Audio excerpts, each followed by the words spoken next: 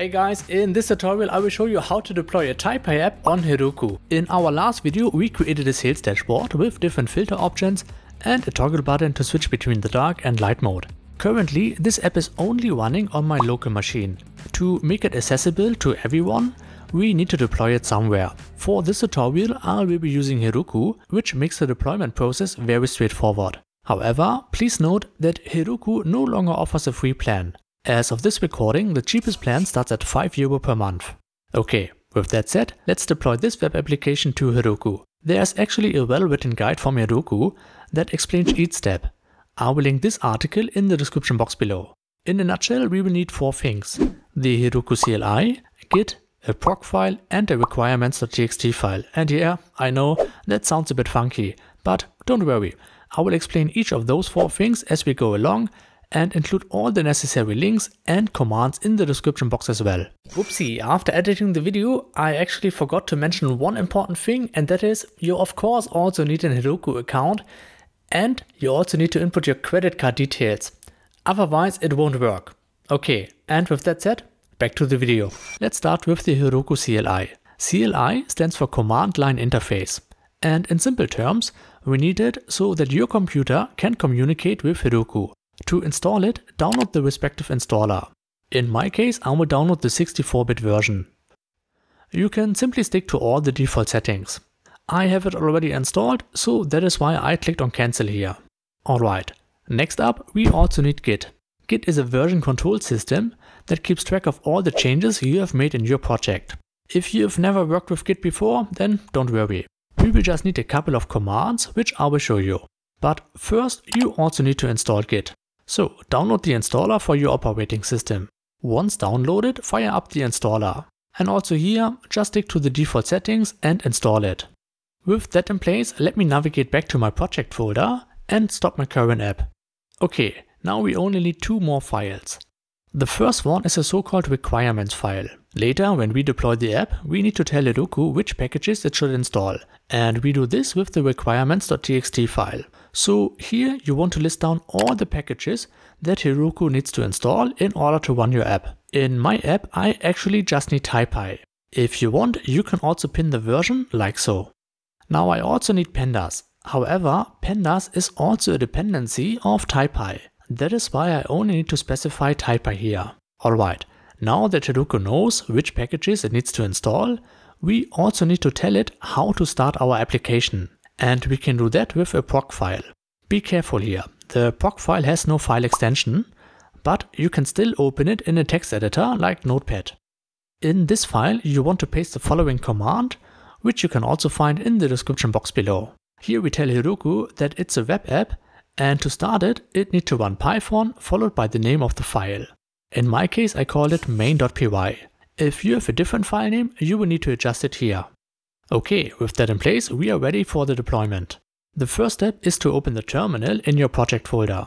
Ensure you are in the correct directory. In my case, my files are located on my desktop in a folder called Sales Dashboard.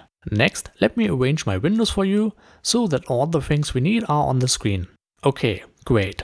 So as I mentioned already, there's already an article from Heroku which explains everything in more depth. To get started, we need to initialize a Git repository. Basically, we just need to tell Git to keep track of all my files in my current folder.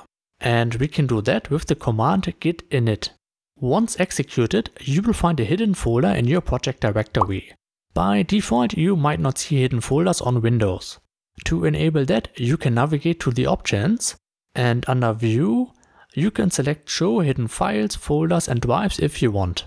Okay, next up, we need to include all our files in the next commit. To do that, simply type git add and a period. And then, after that, you can commit it. The dash m stands for message. Here you can type any message you like. Typically, you want to describe what kind of changes you have done to your files. In my case, it's an initial commit, so I will just name the message accordingly. Now, currently our Git repository only lives on our local machine. To deploy it to Heroku, we will first need to log in. And for that, you have installed the Heroku CLI. So that is why you can now type Heroku login in your command prompt. You should be prompted to log in via your browser. Once done, you can close the browser tab again. After we are logged in, we can create a new app by running heroku create -a followed by the name of your app. This name will also be visible later in your URL. I will call my app my sales dashboard. Alright, once the app is created, we can deploy it by pushing our code using git. So you want to type git push heroku main.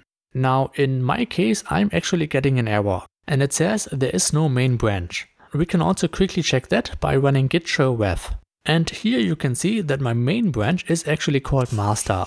So that means I need to type git push heroku master. This time we didn't get an error. Instead, Heroku is now installing all the packages listing in the requirements file and then starts our app with the command from the Procfile. Now, this might take a couple of minutes, but once done, your app should be live and available under the following link. Okay, and here it is. My app is now live on the internet.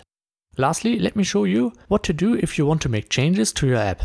For that, let's change the title and add an additional bar emoji to the end here.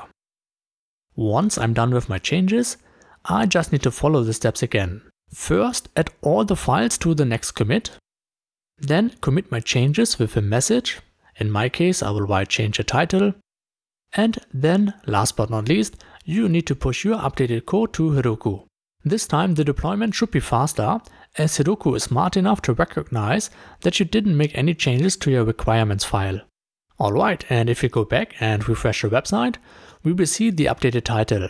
Lastly, let me point out that you also have a couple of more options for your app if you log into your Heroku account. For example, under configure dynos and then change dyno type, you can specify how much you want to spend per month. As I said in the beginning, the cheapest option would be 5 euro per month. Additionally, under the settings tab, you could also change the domain name. Currently, the domain is as follows, but you can also buy your own domain like dashboardking.com and then point your site to that URL. If you're interested in that, then check out my next video where I will guide you through the process. Until then, happy deployment and thanks for watching.